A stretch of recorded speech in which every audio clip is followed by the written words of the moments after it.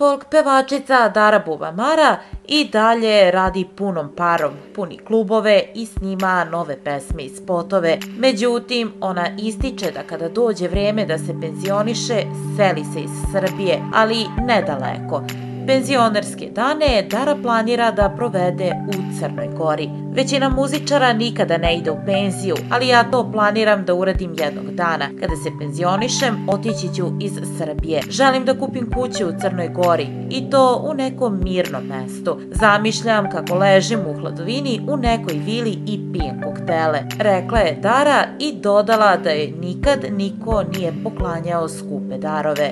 Sve sam stvorila od nule Imam dosta nekretnina, ali bi mi dobro došla još jedna na moru, ispričala je Dara Uvamara.